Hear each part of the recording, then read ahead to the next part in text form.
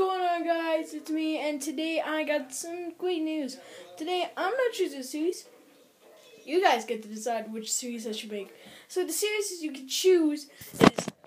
First, my babysitters a my babysitter, my babysitter's a vampire.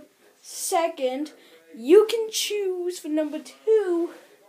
You can choose The Walking Dead, Daryl's, Daryl's Time. You can choose, um, or you can choose another Godzilla series. So you guys, you can choose Godzilla on the Earth, and that's actually gonna be a movie. So yeah, decide in the comments below of which series I should make.